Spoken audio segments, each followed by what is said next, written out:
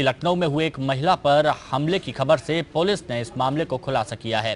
बीते दिनों लखनऊ के कृष्णा नगर में होटल से खाना खाकर अपनी गाड़ी से घर जाते समय मोनिका नाम की युवती पर दो शूटरों ने बंदूक से कई राउंड गोलियाँ चलाकर हमला कर दिया था, जिससे मोनिका को चार गोलियाँ लगीं।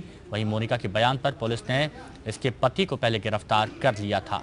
साथ ही आज पुलिस को बड़ी कामयाबी हासिल हुई, जब इस घटना में शामिल एक शूटर को पुलिस ने गोरखपुर से अरेस्ट किया। वहीं शूटर के मुताबिक मोनिका के पति ने इन शूटरों को शराब की दुकान खुलवाने को लालच देकर इस घटना को अंजाम दिलाया। पिताजी नाम पाल सिंह और संजय गोरखपुर। गोरखपुर आर नगर, काली माता मंदिर के पास।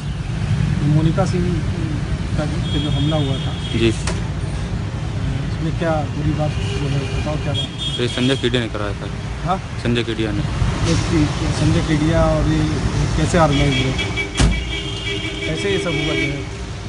तो संजय केडिया ने बात की थी शिवप्रकाश तिवारी से। अच्छा। शिवप्रकाश तिवारी ने हम लोगों को उनसे मिलाया था। तुम थे और कौन था? घटना का नाम थे और सुनील था। हाँ?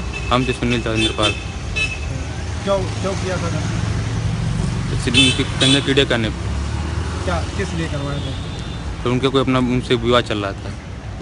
तुम्हें क्या मिला? उनके आवाज़ हमको दुकान देने के लिए कहे दारू की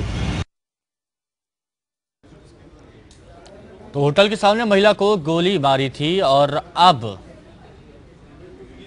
आरोपी को यहाँ पर गिरफ़्तार किया गया है।